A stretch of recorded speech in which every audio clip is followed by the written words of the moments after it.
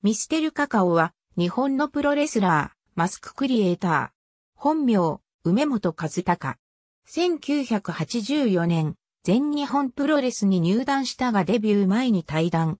大学に通って体を作ってプロレスに戻れればという思いからボディビルを始める。大学卒業後、地元京都でインストラクターをこなしながら、ボディビルダーの衣装やサプリメントを取り扱うお店に勤める。後に、知人から初代タイガーマスクの覆面を手掛ける東京都のマスク職人を紹介されて、勤め先で初代タイガーのマスク販売を行うようになる。後に、マスク職人の勧めでマスク作りを始める。その後、東京都のマスク工房に出向いて見よう見真似で、マスクの作り方を習得。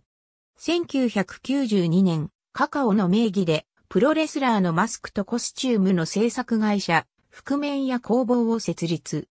1997年2月、ルチャリブレを自家輸入したいという思いから、総合プロデューサーとして、メキシコの CMLL を団体ごと招聘するという前代未聞の試みとして、CMLL ジャパンを開催。2000年7月29日、CMLL ジャパン路京スポーツセンター大会でミステルカカオとしてデビュー。2001年1月、CMLL ジャパンが活動停止。7月29日、マッチョパンプとして、道のくプロレスニューワールド仙台大会に参戦。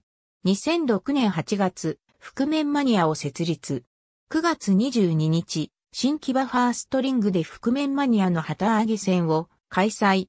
2012年10月16日、CMLL でバンクーバーキャットと結婚したことを発表。